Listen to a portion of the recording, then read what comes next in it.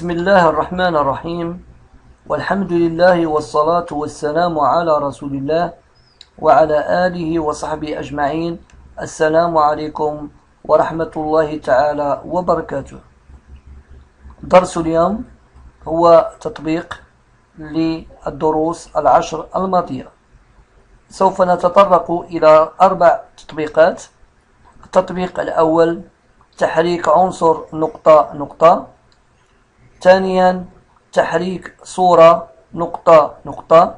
ثالثا كيفية الرسم. رابعا رسم ذرة كهربائية. أولا التطبيق الأول تحريك عنصر نقطة نقطة. أختار اللون الأزرق وأختار أوتيل أوفال. ثم أقوم بتحريك هذه الكرة الزرقاء على نافذة العمل. لذلك أولا سوف أقوم بتكبير الكادرات وذلك باختيار غوند. الكرة الزرقاء توجد في الكادر رقم واحد. الآن أختار الكادر الثاني. وأضع به نقطة بيضاء فارغة التي تسمى إيماج كلي فيد. ثم أحاول وضع هذه الكرة في هذه النقطة الفارغة. أختار édition ثم أختار copier نسخ ثم أقوم بإلصاقها في هذه نقطة المفتاح. الفارغة وذلك باستعمال édition coller en place الآن أقوم بتحريك هذا العنصر الذي يوجد في الكادر رقم اثنان. نعلم أن في الكادر واحد العنصر في هذه النقطة لكن في الكادر الثاني يمكن أن أقوم بتغيير مكان هذا العنصر. أختار outil de sélection ثم أضعه مثلا في هذه النقطة. ثم أقوم بنفس العملية ولكن أخذ العنصر الذي يوجد في الكادر الثاني دائما الكادر القبلي. ثم أختار édition copier ثم أضع هذا العنصر في الكادر الثالث وأختار coller en place. ثم أقوم بهذه الحركة نحو الأسفل. ثم الكادر رقم أربعة.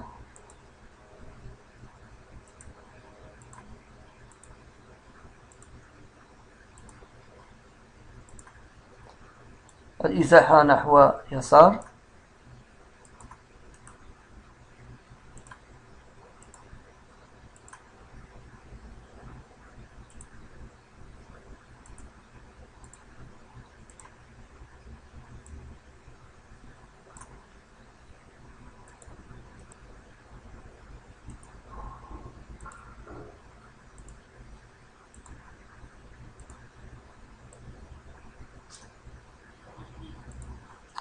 الآن سوف أقوم بتغيير هذا الشكل أي تغيير حجم هذه الكرة.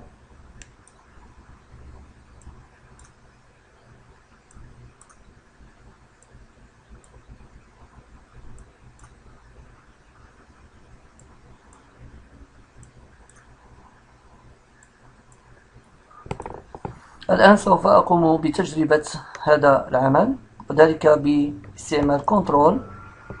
tester l'animation أو contrôle زائد entrée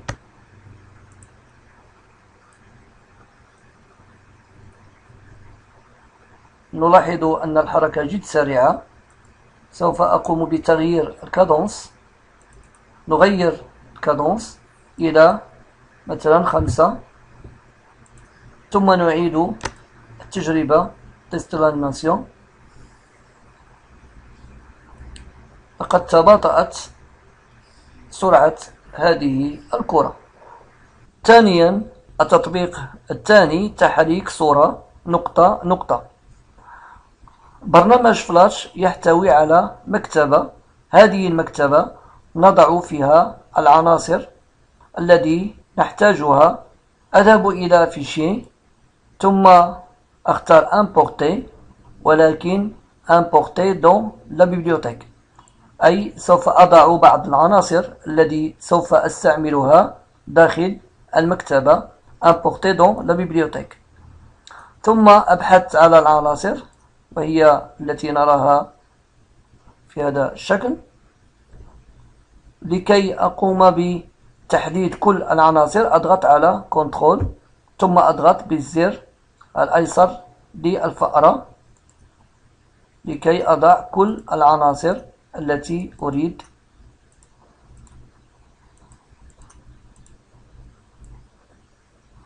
ثم أضغط على Open Ouvrir أذهب إلى fenêtre ثم bibliothèque. لاحظوا جيدا في هذه المكتبة يمكن أن أرى كل العناصر التي قمت بوضعها في المكتبة. الآن سوف أضع عنصر عنصر. العنصر الأول بوم أ أضعها على نافذة العمل. لاحظوا أن هذه الصورة أصغر من نافذة العمل وبالتالي يجب تعديل هذا الحجم لكي يصير متطابقا مع حجم نافذة العمل. لفعل ذلك نضغط على Outil Transformation. ثم أضع الشكل في الأعلى لاحظوا. ثم أضع هذه النقطة في نقطة البيضاء في هذه النقطة السوداء لكي أتحكم فقط في هذا الضلع السفلي. عندما يظهر لي سهمان لهما منحيان مختلفان أضغط بالزر الأيسر للفأرة ثم أقوم بعملية الإزاحة نحو الأسفل. ثم أقوم بنفس العملية أخذ هذه النقطة وأضعها في هذه النقطة.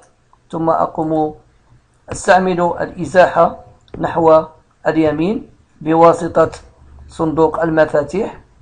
لاحظوا. ثم أستعمل الفأرة للإزاحة نحو اليسار كما فعلنا من قبل. ثانيا أقوم بتكبير الكادرات كما فعلنا سابقا ثم أذهب إلى الكادر الثاني وأستعمل انسيغي image clé vide وأضع هذه الصورة الثانية على نافذة العمل ثم أقوم بتعديلها.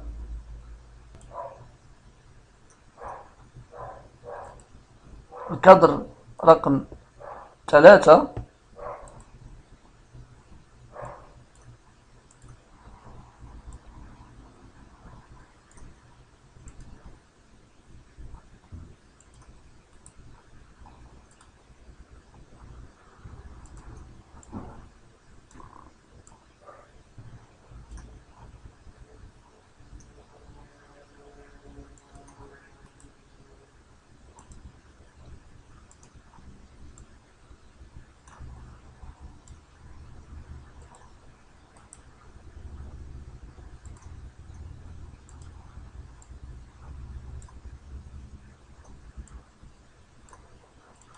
نجرب الآن العمل بالضغط على contrôle tester l'animation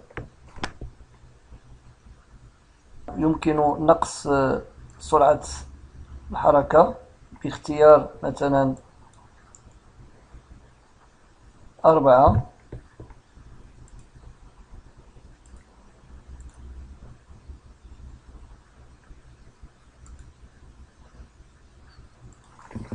التطبيق الثالث. كيفية الرسم. استعمل fichier importer dans la bibliothèque.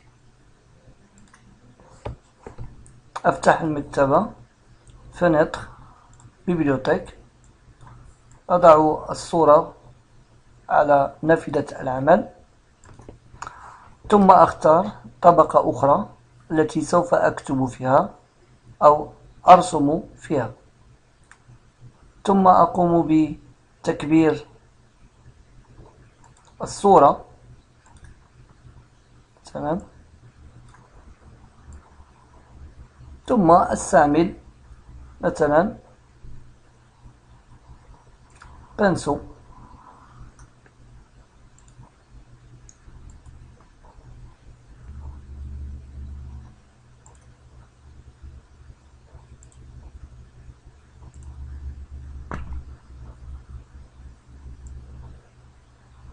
ثم أحاول الرسم هذا الشكل.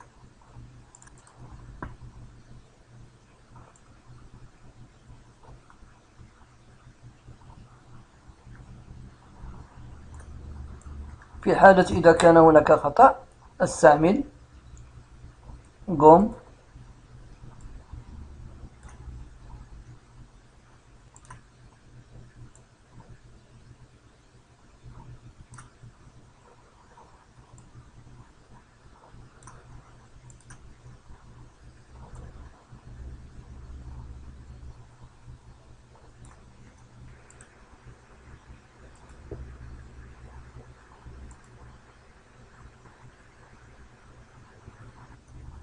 الآن أستعمل بيبت ثم أضعه على هذا الشكل. لاحظوا الآن نستعمل نفس اللون. أستعمل زوم. ثم أرسم.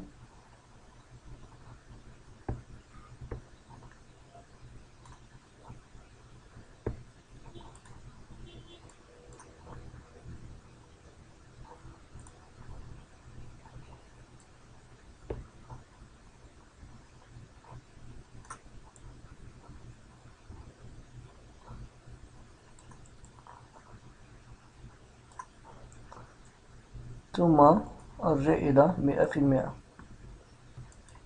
أسمي البيبات. ثم أقوم بتلوين.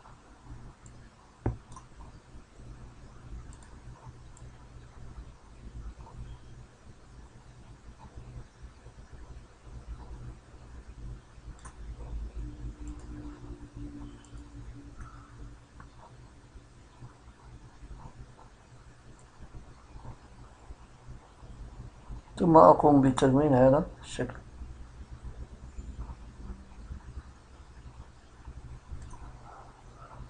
يمكن إلغاء الكالك واحد لرؤية الشكل الذي قمنا برسمه. وهكذا يمكن أن نقوم برسم الشجرة التي أخذتها من الشكل. ويمكن دائما التكبير للتحكم أكثر الرسم الدقيق.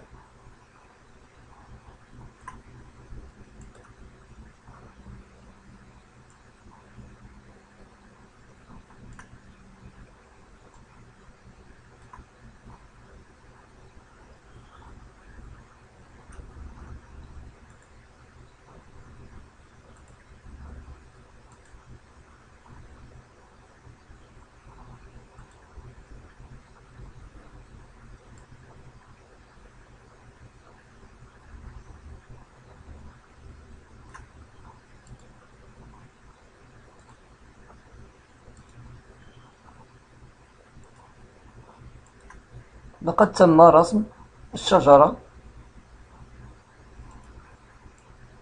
الشجرة الأصلية والشجرة التي قمنا برسمها. التطبيق الرابع رسم ذرة كهربائية. أولا سوف أستعمل أوتيل ليني لرسم العمود وكذلك الأسلاك أضعه في كالك رقم واحد لكن المصباح أضعه في كالك آخر وقاطع التيار في كالك آخر لأن بالنسبة لمصباح أنه سوف يتغير إما مشتعل أو منطفئ كذلك قاطع التيار إما مفتوح أو مغلوق circuit. الطبقة الثانية ب interrupteur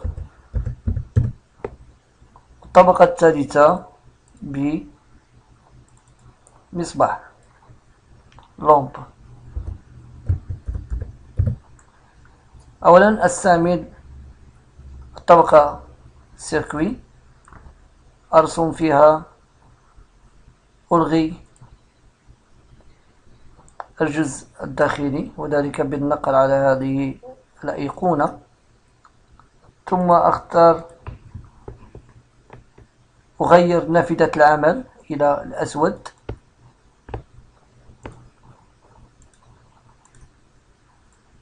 ثم أختار العمود بلون أخضر مثلا. أغير سمك. العمود مثلا أربعة.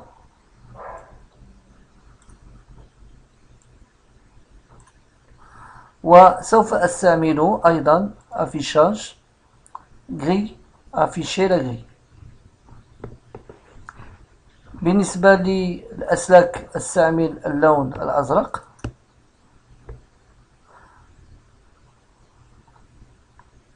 ويمكن استعمال مئتين أحسن من مئة.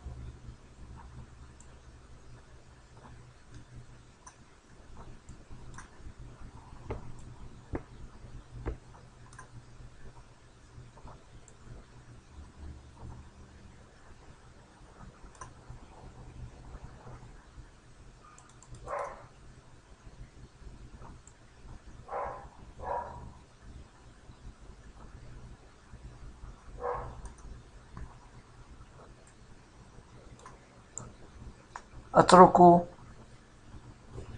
هذا المكان فارغ لإضافة قاطع التيار. كذلك أترك فراغ بالنسبة للمصباح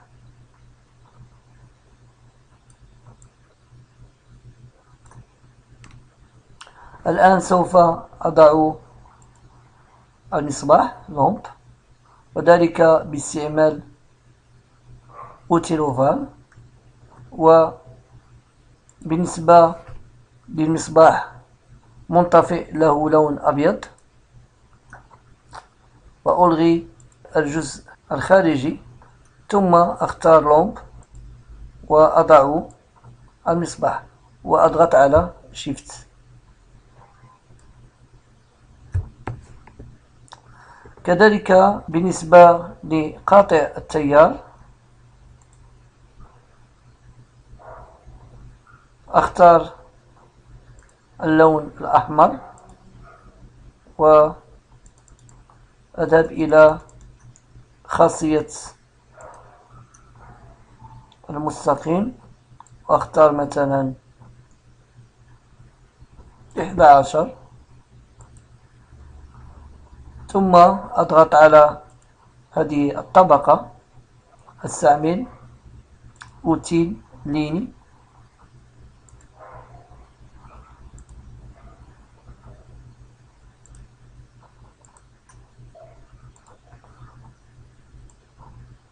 ثم أضع قاطع التيار.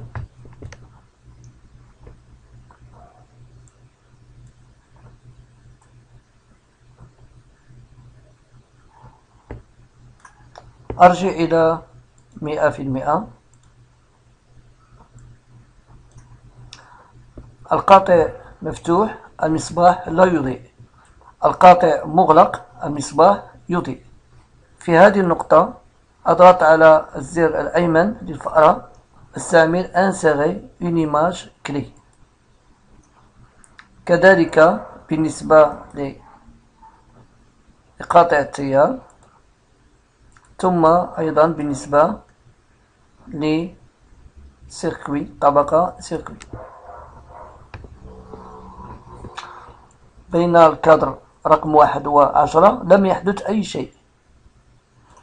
لماذا؟ لأن إذا أخذنا بالنسبة للومب أن هذا الشكل يوجد في كادر واحد وفي كادر اثنان إلى عشرة. كذلك هذا سيركوي. كذلك بالنسبة لقاطع التيار أنه دائما في نفس المكان ولم يتغير لا حجمه ولا يعني موضعه. لا يتغير موضع هذا قاطع التيار. ثم نذهب إلى إلى الكادر. عشرين. insérer une image clé insérer une image clé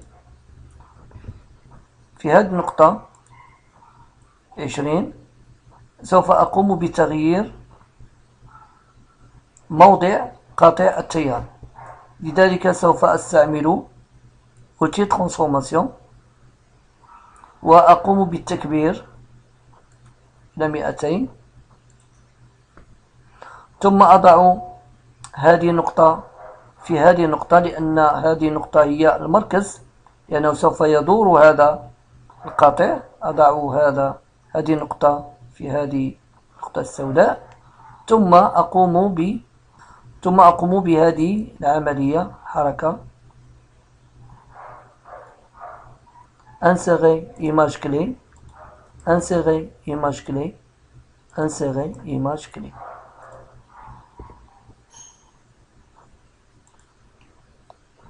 في هذا الكادر أيضا سوف أقوم بوضع هذه النقطة في النقطة البيضاء في النقطة السوداء. ثم أقوم بهذه الدوران. في هذه الحالة يجب على المصباح أن يكون مضيئا. الآن أذهب إلى لومب طبقة لومب وأضغط على هذه النقطة إيماج كلي ثم أضغط على سيبريمي أصبحت لي نقطة بيضاء. في النقطة خمسة وثلاثين لا يوجد أي عنصر. وبالتالي سوف أضغط على نقطة عشرون. أقوم بنسخ copier نسخ هذا العنصر ثم أضعه في رقم خمسة في رقم خمسة وثلاثين ثم أضغط على coller en place ثم أغير اللون إلى الأصفر لاحظوا جيدا. ثم أذهب إلى مثلا الكادر رقم إلى الكادر رقم سبعين. insérer une image clé كذلك insérer une image clé insérer une image clé الآن سوف نقوم بتجربة هذا العمل. كنترول. تستي l'animation قاطع مفتوح. المصباح لا يضيء. قاطع مغلق. المصباح يضيء. والسلام عليكم ورحمة الله تعالى وبركاته.